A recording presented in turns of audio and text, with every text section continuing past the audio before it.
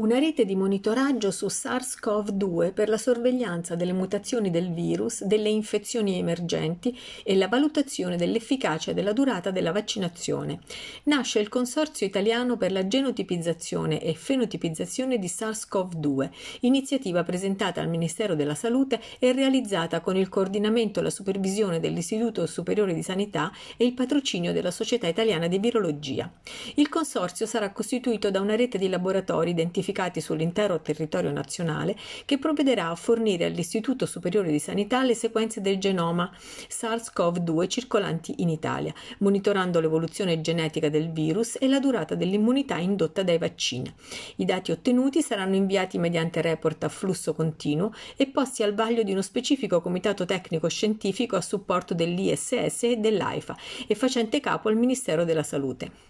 Proprio quando si intravede la luce in fondo al tunnel, infatti, ha spiegato Gianni Rezza, direttore della prevenzione del Ministero della Salute, si assiste all'emergenza di varianti del virus e se quella inglese e quella sudafricana non sembrano preoccupanti, altre lo sono. Quella che forse preoccupa di più, forse la variante eh, brasiliana, emersa a Manaus, quindi in Amazzonia, eh, eh,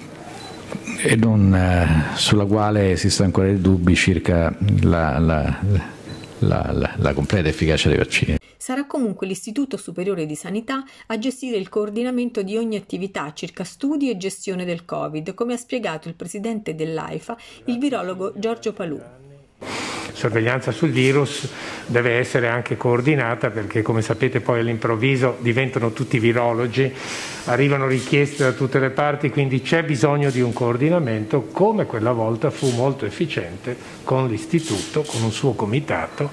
che registrò, quindi bisogna porsi i progetti, quali sono gli obiettivi,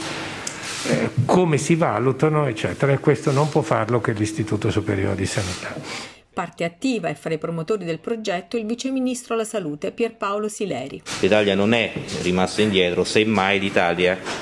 avrebbe avuto e ha il bisogno, ed è per questo che è stato costituito questo tavolo, di fare rete. La dottoressa l'ho appena, appena detto, cioè fare rete, fare sistema, consente anche di utilizzare meglio i soldi, perché diciamoci la verità, i soldi per la ricerca, per la sanità sono sempre stati bassi, ma è pur vero che noi medici, noi ricercatori, pensiamo sempre che siano troppo bassi, cioè anche se dovessero arrivarne di più, ne vogliamo sempre di più e credo che sia giusto così, però a volte fare rete, fare sistema consente di utilizzare meglio anche quei pochi soldi che arrivano.